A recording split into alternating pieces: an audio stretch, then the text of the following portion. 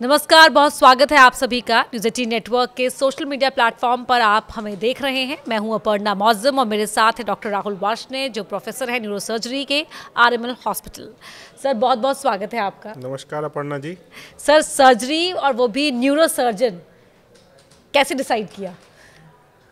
आ, मेरी कुछ अंदरूनी खुद से तो इच्छा नहीं थी to be honest my mother wanted कि मैं एक न्यूरोसर्जन बनूं एक डॉक्टर बनूं। तो इसी चक्कर में मैंने बायो लिया and then I opted for surgery और उसके बाद ये न्यूरो सर्जन बन गया। सर्जरी uh, क्यों ऑप्ट किया आपने? Surgery was my passion see I जब मैंने एमबीबीएस चालू किया ग्रेजुएशन चालू किया तो मुझे ऐसा लगता था मुझे सबसे ज़्यादा पढ़ने में मज़ा सर्जरी आती थी एंड समाउ दो इट्स नॉट करेक्ट मुझे लगता था कि डॉक्टर तो होता है वो सर्जन ही होता है। तो आई ऑप्टेड फॉर सर्जरी बचपन में क्या डॉक्टर राहुल ऐसे थे जो खिलौनों को बहुत तोड़ मरोड़ कर खोल खाल कर कलपुर्जे सब देखा करते थे?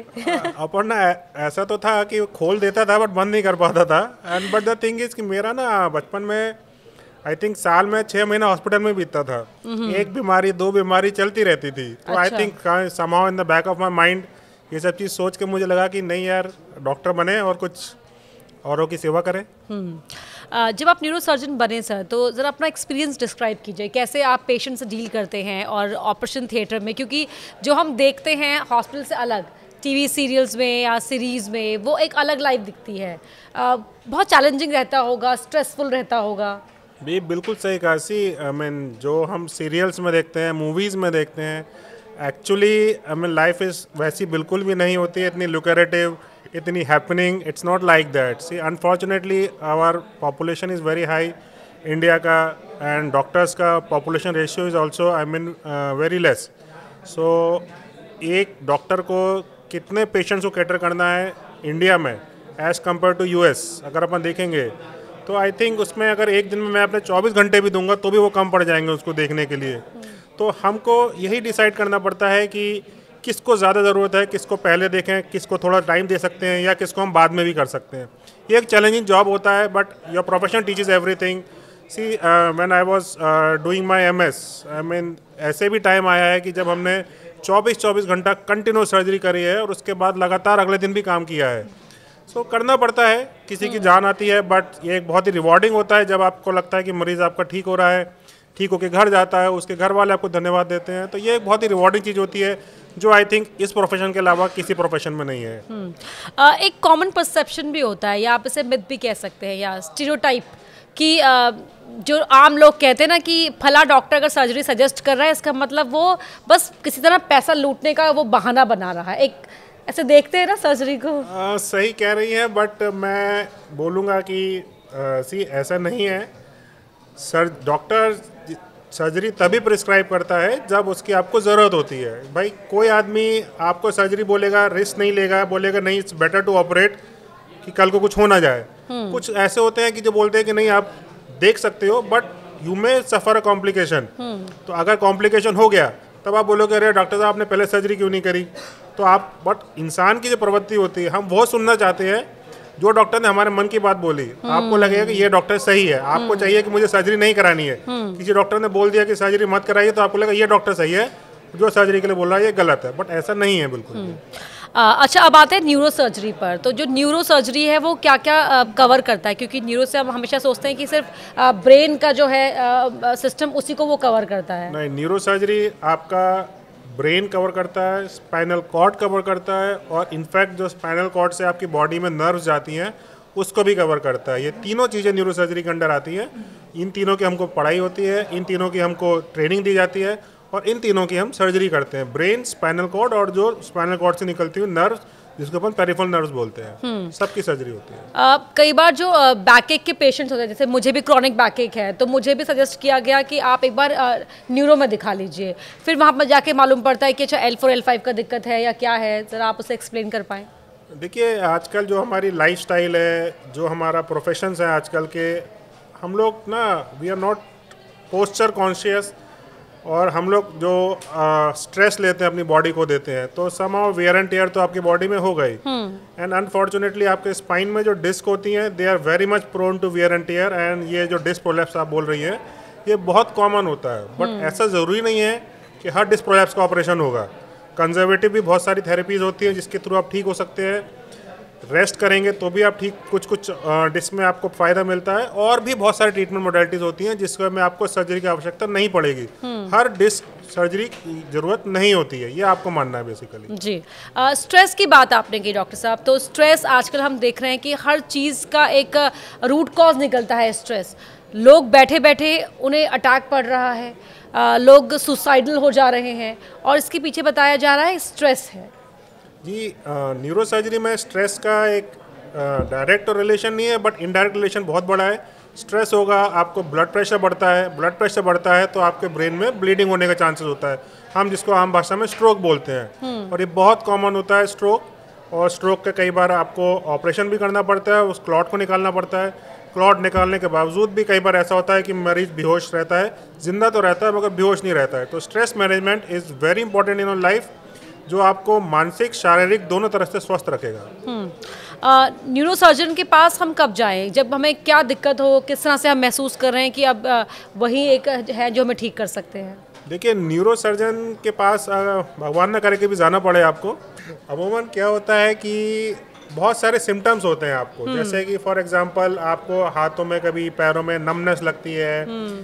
या आपको लगता है कि मेरे हाथ पैर में कुछ कमज़ोरी आ गई है या आपको मिर्गी के दौरे आते हैं हम्म। ठीक है या आपकी याददाश्त में आ, कुछ दिक्कत आती है या एक there is a famous story कि there was a billionaire in US unfortunately what happened कि उसने अपना सारा पैसा जुए में उड़ा दिया and nobody could make out कि उसको क्या था एंड जब उसका ब्रेन में स्कैन कराया गया तो ही हैड अ ट्यूमर और ट्यूमर क्या था? वो उसका उस एरिया को इफ़ेक्ट किया हुआ था जो उसके डिसीज़न मेकिंग पावर होती है। hmm. तो कभी आपको लगता है कि आपको मेमोरी का प्रॉब्लम आ रहा है आपको डिसीज़न मेकिंग में कोई दिक्कत आ रही है तो एक बार डॉक्टर से संपर्क ज़रूर करें यहाँ पर आपने मेमोरी की भी बात करी और स्पीच का भी कहते हैं कि अगर स्पीच में प्रॉब्लम हो रही है आपको आप याद नहीं रख पा रहे आप ब्रेन फॉगिंग हो रही है।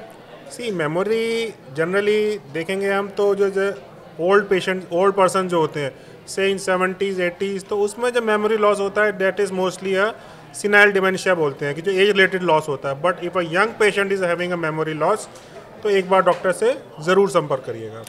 डॉक्टर साहब क्योंकि अब फेस्टिवल का सीज़न है हालाँकि डॉक्टर्स का तो क्या फेस्टिवल का भी चैलेंजिंग रहता है कभी भी जाना पड़ सकता है एक फ़ोन कॉल आने पर। आ, बहुत लोग फेस्टिवल में इतना बिज़ी हो जाते हैं या तो मतलब पार्टीज़ में वो अल्कोहलिक उनकी एक्टिविटीज़ रहती हैं। तो इसके लिए आप क्या कहेंगे?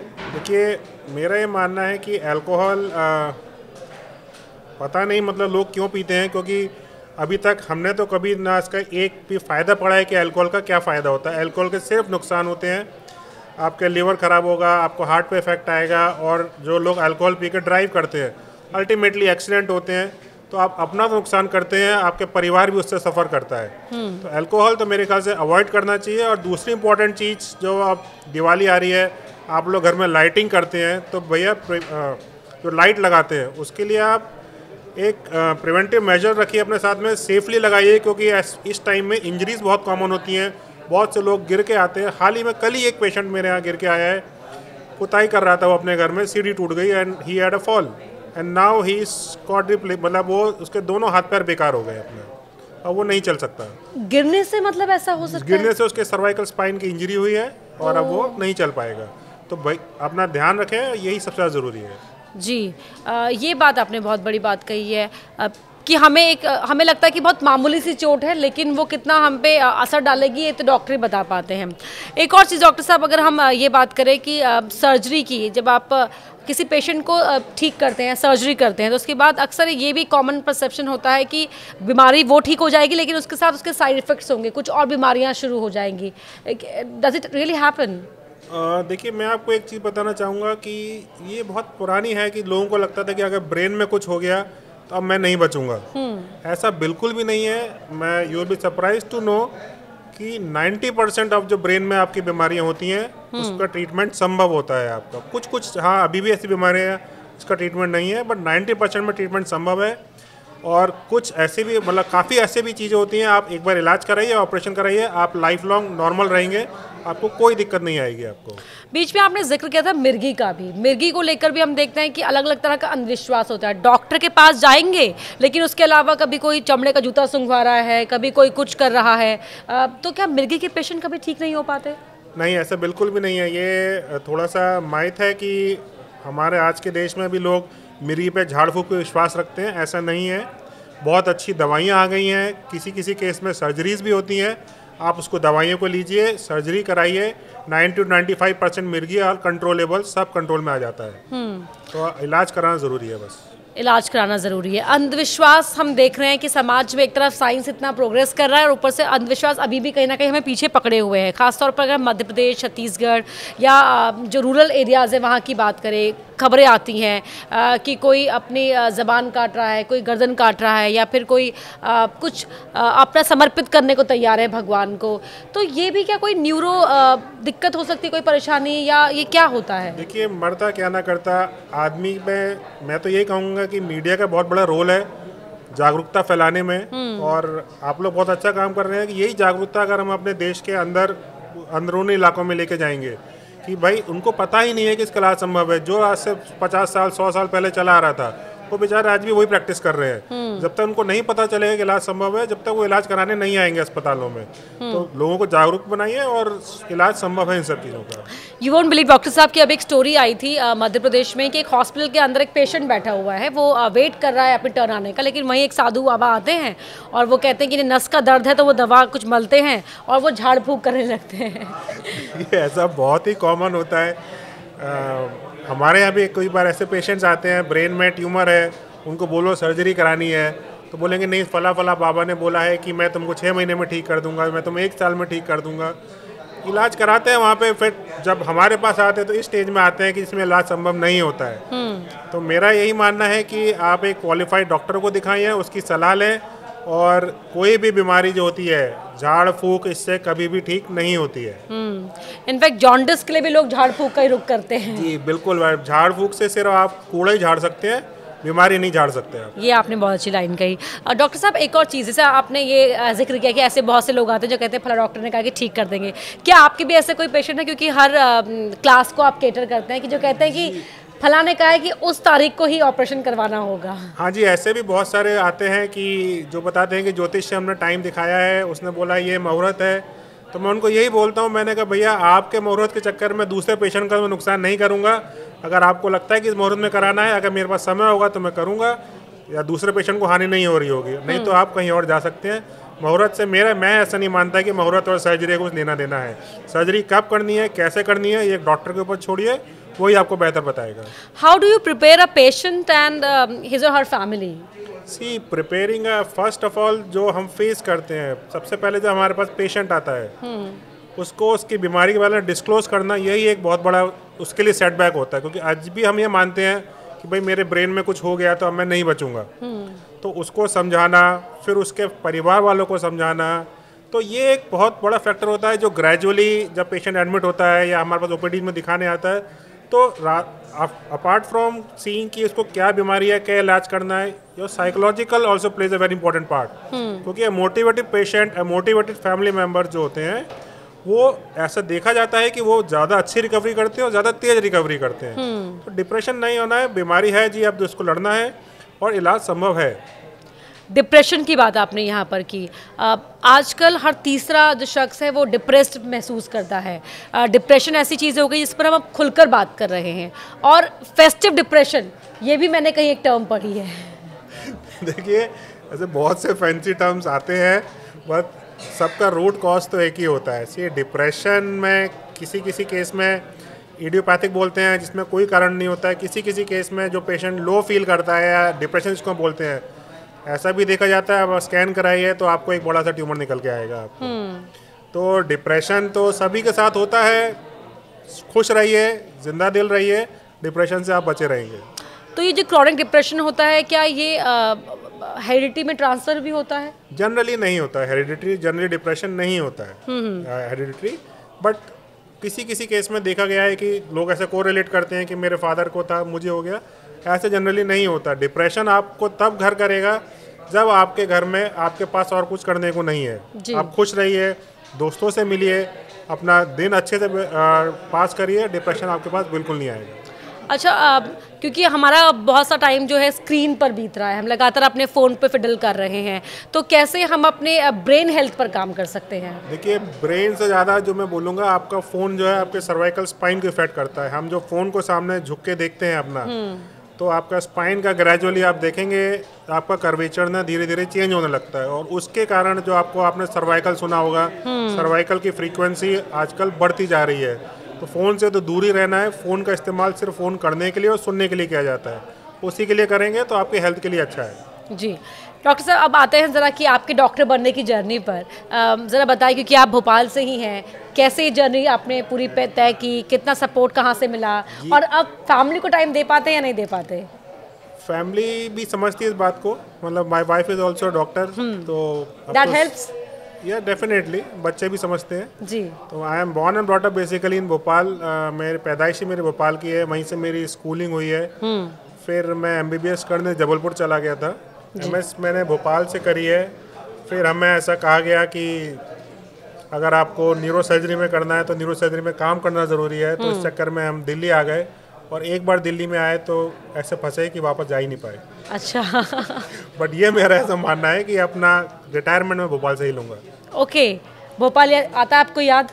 भोपाल मुझे बहुत याद आता है और अभी भी आज भी कहीं भी, भी भोपाल तो आप छोड़िए एमपी छोड़िए आप छत्तीसगढ़ के भी जो पेशेंट आते हैं तो कहीं ना कहीं थोड़ा सा सॉफ्ट कॉर्नर आ ही जाता है उनके लिए। एंड uh, जो बेस्ट पॉसिबल हो पाता है वो हम आज भी उनके लिए करते हैं। अच्छा डॉक्टर साहब एक और चीज़ आपने जो अपनी एजुकेशन की क्योंकि कहीं मैंने भी पढ़ा था कि जब खास तौर पर जब आप एमबीबीएस कर रहे होते हैं थर्ड ईयर में शायद थर्ड ईयर फोर्थ ईयर होता है जब एमबीबीएस के छात्र ही खुद बहुत डिप्रेस महसूस करते हैं क्योंकि शायद वो दवाओं के बारे में इतना पढ़ रहे होते हैं ऐसा फ़ेज़ आता है? जी बिल्कुल आता है। आई मीन स्ट्रेस तो बहुत ज़्यादा रहता है क्योंकि आपके पास पंद्रह पंद्रह सब्जेक्ट्स होते हैं टाइम कम होता है एग्ज़ाम्स देने होते हैं। बट दिस इज़ हाउ मेरा ऐसा मानना है कि you grow you learn how to manage a stress because life में जैसे जैसे आप आगे बढ़ेंगे स्ट्रेस लेवल आपके ऊपर बढ़ता ही चला जाएगा। पेशेंट्स का स्ट्रेस पेशेंट में कॉम्प्लिकेशन होते हैं उसका स्ट्रेस तो ये एक जर्नी है जो आपको निकलना एक आग का दरिया डूब के जाना है। हम्म। तो आप इसको निकल गएँगे आप तो आप एक अच्छे डॉक्टर बनेंगे और आप you know how to manage stress better जी। आ, बाहर से भी बहुत पेशेंट जो है इंडिया का रुख करते हैं अपना इलाज करवाने के लिए। जी बिल्कुल। काफ़ी पेशेंट्स आते हैं इंडिया में और आ, मेरा ऐसा मानना है कि जो इंडियन डॉक्टर्स हैं we provide a better service at a reasonable cost तो आजकल काफ़ी पेशेंट्स बाहर से आ रहे हैं एंड uh, काफ़ी अच्छा रिस्पांस मिलता है वहाँ की गवर्नमेंट से भी और uh, सब कुछ अच्छा मतलब आई मीन ठीक खुश होकर जाते हैं वो। uh, किसी भी तरह के न्यूरो सर्जरी के बाद कितना जल्दी एक पेशेंट अपना नॉर्मल लाइफ का रुख कर पाता है? मैं आपको बताऊँ तो जैसे आज ही सुबह मैंने जो ऑपरेट किया था पेशेंट हम्म। वो अभी बैठ के खाना पीना खा रहा है। ठीक है ही इज़ मोबाइल नाउ और आप same day you are absolutely fine मतलब अगर कुछ कॉम्प्लिकेशन नहीं है तो आप ऐसा नहीं है कि आपको uh, कुछ कुछ डेफिनेटली ऑपरेशन होते हैं जिसमें आप लंबे वेंटिलेटर पे चलते हो। बट काफ़ी ऑपरेशन भी मतलब 50 परसेंट सेवेंटी परसेंट बोलूँगा रादर ऐसे ऑपरेशन होते हैं आपका ऑपरेशन होगा आप बेहोशी से बाहर आएँगे you are as good as normal तो नॉर्मल रहते हैं पेशेंट ऐसा नहीं है मैडम कि आपको सॉरी टाइम लगेगा। You recovers and by I think we discharge the patient in second day और third day we discharge the patient to go home किसी फीमेल को न्यूरो सर्जरी करवानी पड़ी है तो उसके बाद वो वापस मदरहुड की तरफ़ जा सकती है या कुछ प्रिकॉशंस होते हैं या टाइम टेकिंग होता है प्रोसेस नहीं नहीं नहीं नहीं बिल्कुल जा सकती है वो अपना। और इसमें मैं आपको बताना चाहूँगा आपने बहुत अच्छा क्वेश्चन रेज किया है कि इंडिया में हमारे क्या होता है जो आजकल जो प्रेग्नेंट लेडीज़ होती हैं हमारे गवर्नमेंट हम्म। के प्रोग्राम्स हैं आयरन फोलिक एसिड्स के बट जनरली लोग नहीं लेते हैं। फोलिक एसिड एक ऐसी चीज़ है कि अगर आपने उसको नहीं खाई तो आपके बच्चे में विकार होने के चांसेस बहुत ज़्यादा होते हैं। हम्म, हम्म, हम्म। जिसको अपन बोलते हैं हाइड्रोकेफेलस आपने एक अमिताभ बच्चन की पिक्चर देखी होगी पा करके। जी जी जी। है ना? उसमें जो बीमारी थी they are very common in जो कि फोलिक एसिड नहीं खाते हैं। किसी किसी की रीढ़ की हड्डी में आप देखेंगे पीछे एक स्वेलिंग दिखाई देती है तो मेनिंगो माइलोसिस बोलते हैं वो कॉमन होते हैं। तो फोलिक एसिड नहीं खाने पे ये सारी चीज़ें होती है। तो आप फोलिक एसिड खाइए आप इन सब चीज़ों न्यूरो की प्रॉब्लम से बचा सकते हैं बच्चे को। ये बहुत अच्छी बात आपने कही। डॉक्टर साहब एक और चीज़ जो आजकल ऑटिज्म ये ड्यू टू अवेयरनेस है कि हमें ज़्यादा केसेस दिखाई दे रहे हैं या ये पोस्ट कोविड एरा है कि हम ये देख रहे हैं कि जो बच्चे हो रहे हैं उनको कुछ प्रॉब्लम्स हैं या ऑटिज्म को लेकर हम केसेस लगातार सामने आ रहे हैं ऑटिस्टिक बच्चे हैं। ऑटिज्म तो जी पहले भी था और ऑटिज्म आज भी है। हम्म। ठीक है ना? थोड़ा सा मैं ये बोलूँगा कि जैसे जैसे मेडिकल एडवांसमेंट होता है जैसे जैसे टेक्नोलॉजी एडवांस होती है तो इनिशियल स्टेज में आपको ऑटिज्म दिखाई देता है and you come to hear about the autism but ऐसा नहीं है कि ऑटिज्म में कुछ आई I मीन mean, बढ़ गया है जैसा था वैसे ही चल रहा है अभी ऑटिज्म तो आ, क्या कोई ऐसा कोई केस आप हम डिस्कस करना चाहेंगे हमारे साथ या इंसिडेंट सुनाना चाहेंगे अपने किसी पेशेंट से जुड़ा हुआ? हाँ जी मैं एक सुनाना चाहूँगा आपको। एक पेशेंट था आ, मैं एक आध साल बंगाल में भी काम किया था। उसको किसी ने पॉइंट ब्लैंक से गोली मार दी थी पॉइंट ब्लैंक से? हाँ जी तो वो पूरा गोली जो थी उसके दिमाग यहाँ कनपट्टी के ऊपर से होती हुई जो छोटे छोटे टुकड़े थे उसके वो पूरे ब्रेन में और दूसरी तरफ़ से बाहर निकल गई थी। हम्म। तो कुछ काफ़ी बड़ा हिस्सा गोली का ब्रेन में फंसा हुआ था।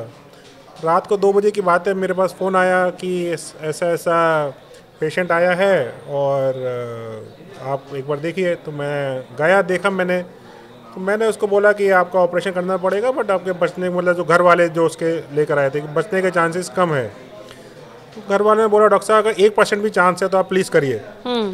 तो मैंने कहा कि ठीक है और हमने फिर उसका ऑपरेशन किया और आई थिंक करीब 10 से 12 घंटे उसका ऑपरेशन चला था और गोली वोली उसकी निकाल दी गई हमने एंड लकीली से कि by God's grace he has an uneventful recovery और सेवन टू टेंथ डे में वो अपना डिस्चार्ज होकर घर चला गया और ये मैं आपको बता रहा हूँ दस साल पुरानी बात है और आज भी मेरे पास आता है वो मुझे दिखाने के लिए। वो बंगाल से आज दिल्ली आता है मुझे दिखाने। पॉइंट ब्लैंक अविश्वसनीय है ये। डॉक्टर साहब एक और चीज़ इस तरह से आपने कहा कि 24-24 घंटे में सर्जरी करनी पड़ती है।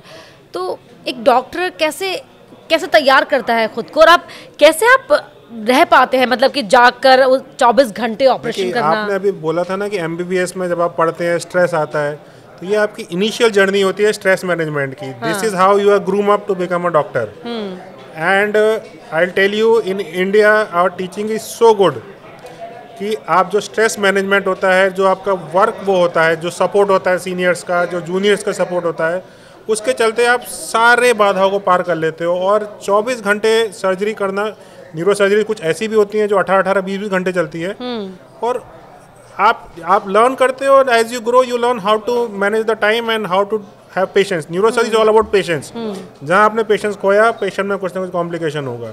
बारह घंटे चौबीस घंटे आप काम करिए सब करते हैं। मतलब मैं अकेला नहीं करता काफ़ी मतलब सब न्यूरोसर्जन करते हैं। एक अनपॉपुलर क्वेश्चन मैं पूछना चाहूँगी आपसे कि uh, कभी ऐसा हो कि आपने बहुत टाइम दिया हो कि सर्जरी को और आप उस पेशेंट को नहीं बचा पाए? जी ऐसा होता है और मैं आपको बता दूँ कई बार ये भी होता है कि सी आप जब सर्जरी करते हैं आपको समझ में आ जाता है कि सब कुछ ठीक है। कई बार ऐसा भी होता है कि सब कुछ ठीक है आप ऑपरेशन ठीक हुआ है आप देखते हैं कि भाई ऑपरेशन के बाद तुम पेशेंट उठा ही नहीं। हम्म। आप उसका स्कैन कराइए उसमें कोई दिक्कत नहीं है। तो कई बार बहुत मतलब very rare though very rarely ये समझ में ही नहीं आता है कि आज से हुआ क्या पेशेंट हम्म। तो ये that is also very depressing to try to find out the cause कि क्या हुआ ऐसा। आप स्कैन करा के देखिएगा आप कुछ भी कराइए कुछ समझ में ही नहीं आता कि क्या हुआ। Surgery also went very well so this times you are मतलब क्या फैमिली वालों को क्या समझाएँ? एग्जैक्टली exactly, क्या हाँ. है। क्योंकि हमको खुद नहीं पता कि उसको क्या, क्या हुआ है। तो this is very though it is very rare but sometimes it happens तो how do you prepare yourself मतलब डॉक्टर कैसे प्रिपेयर करता है अपनी सर्जरी से पहले? Do you also study repeatedly yes uh, we do studies and we do attend conferences we do attend seminars. Hmm. so what is going on around the world? पता चलता है हमको we go for training sessions तो this is how we learn और सचिन तेंदुलकर हर बार century नहीं बना पाता। हम्म। कभी कभी ज़ीरो पे आउट होता ही है। तो केस स्टडी भी करते होंगे आप जब हाँ आपके हाँ पास कोई केस आता होगा? बिल्कुल बिल्कुल। हमारे पास जनरली दिल्ली में आई मीन रेफर्ड केस ही आते हैं। हम्म। जो बाहर से रेफर होके आते हैं जिसका कहीं इलाज नहीं हो रहा होता है या जो वैसे होते हैं जो कॉम्प्लिकेटेड होते हैं वो हमारे पास रेफर होके आते हैं। डॉक्टर साहब एक और सवाल कि जब जो वो ओ में आपके आगे पेशेंट लेटा हुआ है और आपने उसकी बॉडी ओपन की हुई है यू आप you're operating on that person तब उस वक्त उस पेशेंट का क्या होता है? वो किस स्टेट में होता है? किस जोन में होता है? पेशेंट तो देखिए अनकॉन्शियस होता है बट हाँ. यहाँ मैं आपको इंटरेस्टिंग बात बताना चाहूँगा कि आजकल हम जो कुछ सर्जरीज करते हैं उसमें पेशेंट अवेक होता है। हम्म। मतलब पेशेंट होश में होता है और हम उसका ब्रेन का ऑपरेशन कर रहे होते हैं। हम उसको पेशेंट को बोलेंगे अपना हाथ हिलाओ तो अपना हाथ हिलाता है। हम उसको बोलेंगे अपना पैर हिलाओ तो अपना पैर हिलाता है। तो this is something interesting that we are doing nowadays तो जैसे अनयूजल लोगों को लगता है कि आप पेशेंट होश में कैसे सर्जरी करते हैं बट क्या है जो आपका ब्रेन है? ब्रेन दिमाग खोला हुआ है उसका हाँ, और वो होश में है patient oh my God brain is आपका इट्स रिलेटिवली मतलब पेन सेंसिटिव स्ट्रक्चर नहीं है वो आपका। Once you enter inside the brain patient को पेन फील नहीं होता जैसे आपकी स्किन में पिंच करूँगा या आपकी हड्डी में कुछ होगा तो आपको पेन होता है। बट ब्रेन में पेन नहीं होता बट कुछ ट्यूमर्स होते हैं आपके जो आपके हाथ के या पैर के हिस्से में बैठे होते हैं तो हमको निकालते में उसको देखना पड़ता है कि हाथ पैर का इफ़ेक्ट तो नहीं आ रहा उस पर इस चक्कर में हम पेशेंट को एनेस्थीसिया वालों को काफ़ी सपोर्ट सपोर्ट रहता है ये एनेस्थीसिया का रोल मेजर होता है।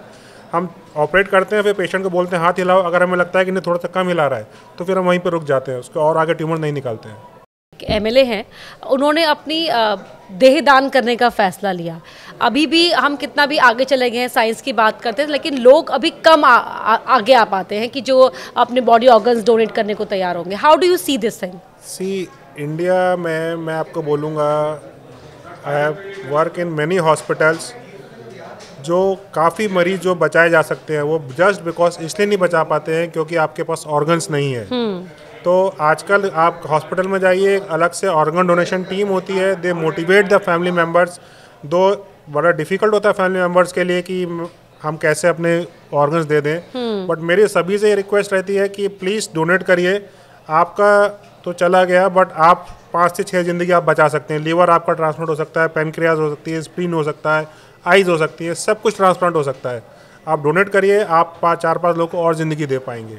इसने नहीं बचना वो तो चला गया। इट्स अनफॉर्चुनेट मैं बट ये है कि अगर ये जागरूकता आएगी आपसे भी अनुरोध है आप भी फैलाइए ऑर्गन डोनेशन के लिए। गवर्नमेंट काफ़ी काम कर रही है और बहुत ज़रूरी है ऑर्गन डोनेशन डॉक्टर साहब जब आप आए होंगे इस फ़ील्ड में और अब जब आप स्टैब्लिश हैं सेटल्ड हैं तो आपने जो इंडियन मेडिकल जर्नी देख रहे हैं वो किस तरह से आप देख रहे हैं? कितना हम आगे निकल चुके हैं और क्या कुछ करने की हमें ज़रूरत है? देखिए मैं आपको बताऊँगा कि जैसे जैसे साल निकलते जा रहे हैं जो आपको ब्रेन खोलने का छेद है वो बड़े से छोटा था चला जा रहा है। मतलब अच्छा। पहले अगर मैं इतना बड़ा मतलब से पाँच बाय पाँच सेंटीमीटर का ब्रेन खोलता था तो आजकल सब चीज़ एंडोस्कोप से हो रही है। एक जो आपका ट्वेंटी फाइव पैसा फिफ्टी पैसा कॉइन होता है आप उतने छेद से भी I you are doing surgeries so as the surgery is I mean as the years are passing you know it is called minimal invasive surgeries कि आप सर्जरी के ओपनिंग छोटी करते जा रहे हो and you are giving better results because of technology आजकल technology इतनी एडवांस हो गई है स्कैंस है आप पेशेंट्स को सपोर्ट जो सपोर्टिव जो आपको मिलती है वो बहुत ज़बरदस्त है आज के और मेडिकल स्टूडेंट्स को कुछ आप एडवाइस करना चाहें? मेडिकल स्टूडेंट्स को मैं यही खास तौर एडवाइस पर एमपी के आपके। मैं यही एडवाइस करना चाहूँगा कि आप अच्छे से पढ़ाई करिए और अब तो मतलब अच्छी बात है कि एमपी में भी काफ़ी ज़्यादा एडवांसमेंट हो गया मैं देखा ऐसा है मेडिकल फ़ील्ड में।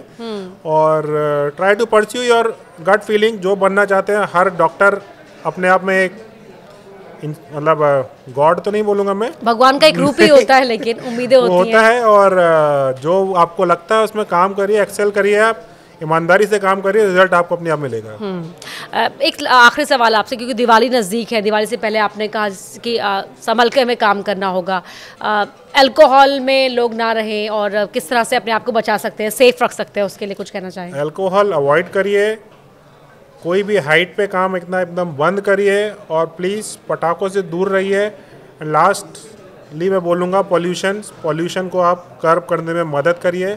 पॉल्यूशन इज़ वेरी डेंजरस ये एक बहुत महत्वपूर्ण सवाल हमारा रह गया कि हाँ जो क्योंकि अब हम देख ही रहे हैं कि क्या चल रहा है। बिल्कुल। देखिए पॉल्यूशन से एज सच आप बोलोगे क्या न्यूरो सर्जरी होती है को डायरेक्ट कोरिलेशन नहीं है बट पॉल्यूशन में आपको दिखाई कम देता है। आपने दिल्ली में देखा होगा कितना स्मॉग हो जाता है and that leads to accidents and ultimately you have to come to a neuro surgeon तो पॉल्यूशन आप कम करेंगे साफ़ दिखाई देगा एक्सीडेंट्स कम होंगे आप न्यूरो सर्जन से दूर रहेंगे। बहुत बहुत शुक्रिया डॉक्टर साहब आपका हमसे बातचीत करने के लिए। Thank you thank you